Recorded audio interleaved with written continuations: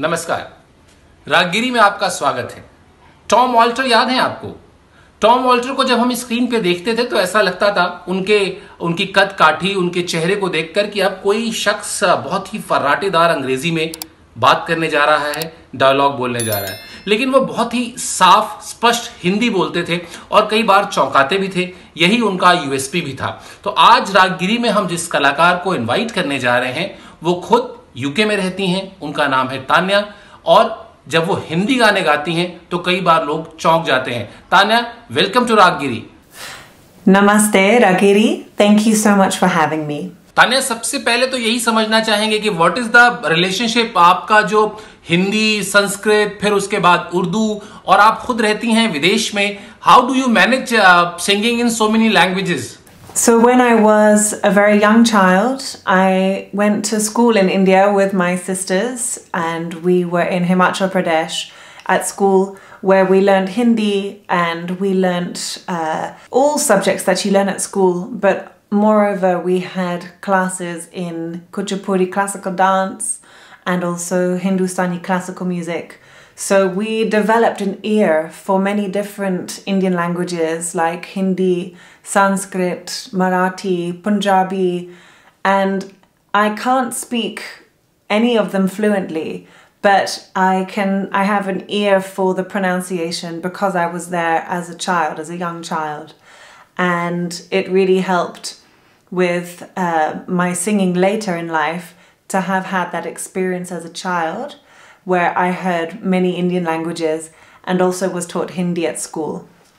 So मैं हिंदी सीख रही हूँ लेकिन बहुत प्रैक्टिस चाहिए अच्छा तान्या आपका जो बचपन है वो हिमाचल प्रदेश में बीता है आप ये थोड़ा सा जो रूट्स हैं आपकी tell tell us something about your roots specially your your childhood in childhood in Himachal Pradesh We had a wonderful childhood. Uh, it was it, at the foothills of the Himalayas in Himachal Pradesh. It's an international school that we went to, and so we were surrounded by children from many different parts of the world. And we had our schooling in all of the typical school subjects, but also um, with Hindi and in in the arts, in Indian arts, so Indian dance and in music. And it was a very, very inspiring time. And I often look back to my experience as a child um, and I draw a lot of inspiration from it. And even with my own music, I am still inspired by my time that I had in India as a child. It was a very special time. अच्छा अपनी शुरुआती जो संगीत की शिक्षा है उसके बारे में बताइए हमें कैसे how how do you started learning Indian classical music when I was 17, I got the opportunity to study in Vaitana Music Academy, which is set up by PK Salve, which is really exploring the different arts. So there was my first introduction to Hindustani classical music, which I learnt from Dr. Arun Apte. And the course was called Music Therapy. So I was learning about the rags and also Sanskrit shlokas and how it impacts our well-being. So it was a very a wonderful way to start learning about music because it was how it makes us feel and how it can put us into a state of meditation. So for me, it was the perfect entry point into this rich music of Hindustani classical music because I could feel um, all of the. I just really loved what I loved the course, and I could also feel how it was impacting me subtly, and how the rags have a subtle vibration within our subtle body of the chakras, and it was uh, just so illuminating for me on so many different levels. And afterwards, when I returned to the UK for my further studies, I found various teachers to help continue my studies in Hindustani classical music.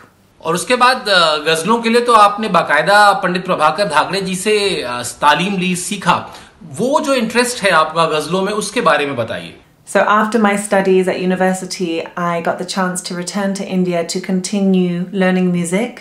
And um, I learnt with a wonderful teacher, Pandit Prabhakar Dhakde Guruji from Nagpur. And that was really um, a moment where I just wanted to develop my skills a lot more. And Guruji was such an incredible teacher and really listened out for all of the nuances to help with my singing, to help create the culture of the voice, as he would call it. And he is specialist also in classical music, but also light classical. So it was a very nice perspective for me to have. And he introduced me to many ghazals, some of his own compositions. And I was also introduced to many, many different singers from India that I could uh, hear how they were singing and also practice it in my own voice. अच्छा तानिया बहुत देर से बात हो रही है but हमने आपसे request नहीं की कुछ गाने के लिए तो कोई गज़ल जो आप हमारे सब्सक्राइबर्स को सुनाना चाहें This is a ghazal which Guruji taught me when I was studying with him in Nagpur. It is his composition. It's called Ye Chand Jo Rato Ko. Ye Chand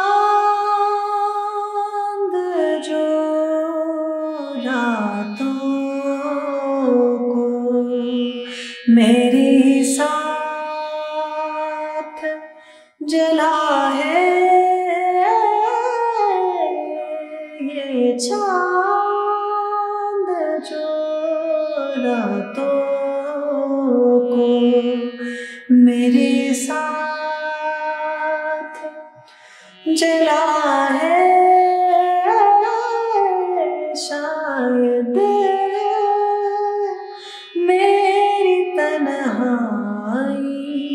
का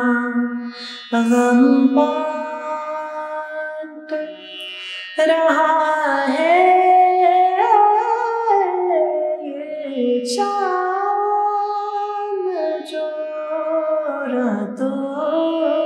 को। ये वीडियो आपको कैसी लगी, हमें ज़रूर बताएँ। इस वीडियो के कमेंट बॉक्स में जाएँ और अपनी राय रखें। इसके अलावा रागगिरी को सब्सक्राइब करें और बेल नोटिफिकेशन ज़रूर प्रेस करें, जिससे जब भी हम कोई नया वीडियो लेकर आएँगे, आपके पास जानकारी यानी नोटिफिकेशन पहुँच जाएगा।